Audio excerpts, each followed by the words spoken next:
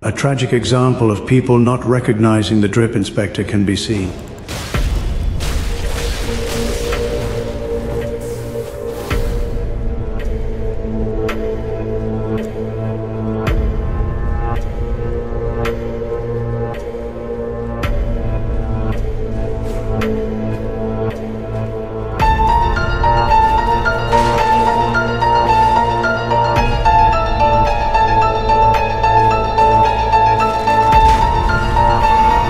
This is a terrible tragedy for multiple reasons.